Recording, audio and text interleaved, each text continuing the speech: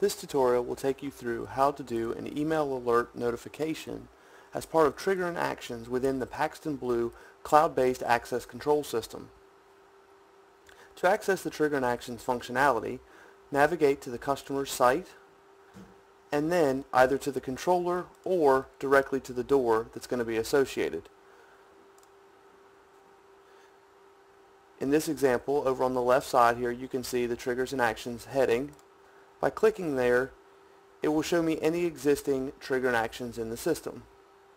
In the top left corner, we can create a new trigger that will say, in this instance, when a door credential is unlocked.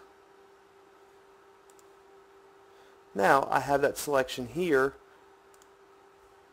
and I can now see any details associated in the top left corner, I can create a new action, and this will allow me to send out an email to notify the recipients.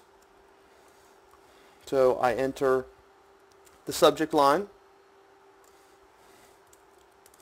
and then the message that I want to send.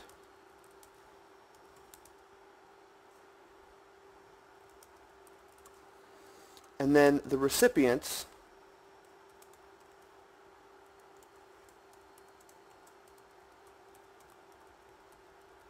of that message.